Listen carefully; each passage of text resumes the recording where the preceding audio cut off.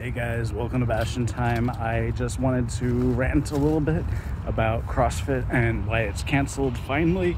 Except it probably isn't because even as bad as stuff gets, it still ends up thriving because that's the way the world works. But anyways, yes, I am on a walk with my dog who's whining at another dog at a dog park right now uh, because of this whole situation of staying at home and whatnot. We have plenty of time to go on an hour long walk twice a day, so I may as well vlog while I do it, right? Um, but anyways, let's get on to the meat of the story. And yeah, by the way, it is raining because even though it is summertime, it is Portland, so it's gonna rain 50% of the time at least. Anyways, this is another ranting vlog, although this one will probably be a little less ranty than the previous one, which I only just posted and it was probably super controversial and I probably lost like all my subscribers, but oh well. Um, so basically, this one I want to talk about CrossFit. And now, as a personal trainer, I have 500 billion things that I want to say about CrossFit, none of which are pertinent to this particular topic. So I'm going to avoid all of those. Might uh, I might delve into those at the end. Again, not pertinent to this particular story. So basically, in the climate that we have going on right now, um, which will date this video. So who knows, in a few years, people will be like, what? CrossFit wasn't canceled. In fact, it's thriving. It's doing better than ever. And that's just the way of things, unfortunately. No matter how awful a person or a company is, sometimes they just thrive. But uh, regardless, right now what's going on is, you know, there's the whole Black Lives Matter situation and the COVID situation and CrossFit, for those who aren't aware, is not just a style of fitness, it's actually a company. Every single gym that has the word CrossFit in it is partially not owned by, but basically like franchised from the company CrossFit, um, which is all owned by one man who's the CEO. And it's not a situation like where if the CEO of Starbucks or any other type of company does or says some, you know, not great thing, they can just be voted out. That's this guy is the sole owner of the entire CrossFit brand. And basically CrossFit gyms all have to pay I think $3,000 a year just to use the name CrossFit in their particular gym or whatever they call it. Um, so, this particular fellow is is CrossFit. I don't know what his name is. I, am not very well researched. This is just a ranting, rambling video. So uh, I'll leave the facts for you to look up, but uh, or at least the more detailed facts. The, these facts are that first of all, most companies have come forward at this point in time and said, "Yeah, Black Lives do matter," or you know something along those lines, or or have had something to say about the COVID situation, like, yeah, stay six feet apart, or, you know, when working out, you might want to wear a mask. Just a suggestion, you know, something like that.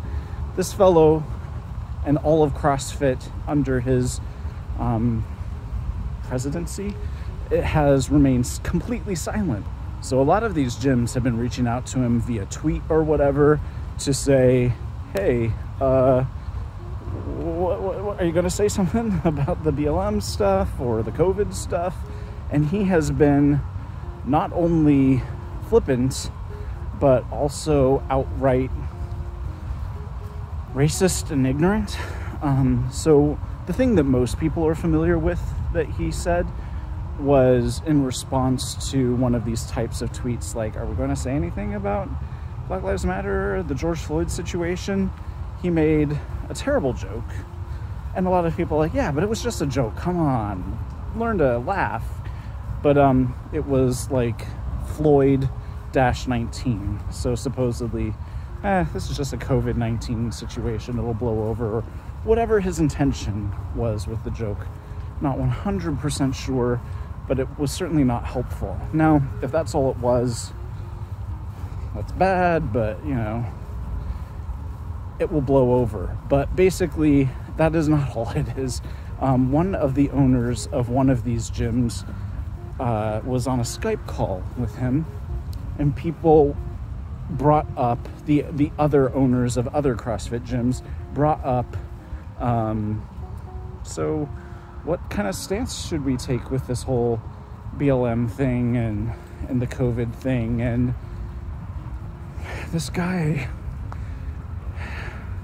went out of his way to reiterate multiple times I think the number was like 5 times that he did not mourn George Floyd and uh, and made other flippant remarks about how COVID is not that bad and I don't know. you will you'll you'll want to look at it yourself, but the point is,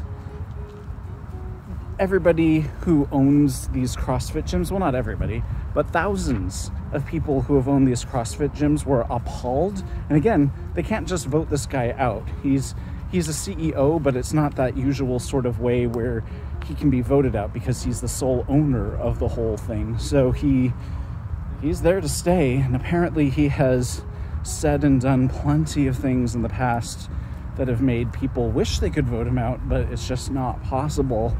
And unfortunately, the only option is they have to disassociate. So they're going to, thousands of gyms have come out and said, we are no longer paying the 3000 a year we're no longer calling ourselves a crossfit gym we'll just have to change our names and no longer be associated with crossfit in general which is pretty sad because for a lot of people crossfit is the only type of fitness that they have any interest in doing whatsoever so it's going to take a lot of marketing and education to explain like these workouts are still CrossFit. It's just we can't use the CrossFit name anymore.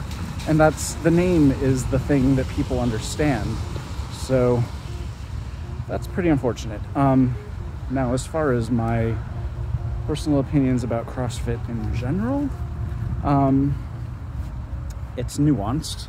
It is, let's start out with the positive. It is, as a personal trainer, I'm always excited to hear that anybody's doing anything fitness related um, anything is better than nothing as long as it's safe and effective. Um, CrossFit can certainly be safe and effective, but how to put this delicately so I don't lose all subscribers. Um, most individuals that I know who have done CrossFit have gotten injured. Now, why why would that be the case? It's because, and this may have changed, but back when I was looking into becoming a personal trainer, to become a personal trainer, you have to get a certification that requires basically studying like you would for a class in college. It's a whole huge textbook. It is a very lengthy test that is very detailed and scientific. Basically, you're going to spend months studying for this test. It's maybe possible to study for it in a month, but I found that it took me because I wanted to take my time and make sure I was going in depth and learning every tiny nuance possible. It took me somewhere between three to six months, I can't remember, but basically the same length as you would take like in a college class or something to become CrossFit certified. Again, this might have changed. This is based on what it was when I looked at it last. It's a weekend class. You go for two days, or I think it's two weekends. So you go to the class, you show up, you're certified. There's no proficiency, there's no test. You just, you go and you're certified. So how can these individuals who are CrossFit certified coaches be certain that they know the form and correct angle and all of the details about every exercise to prevent injury. They can't. So, CrossFit can be extremely dangerous.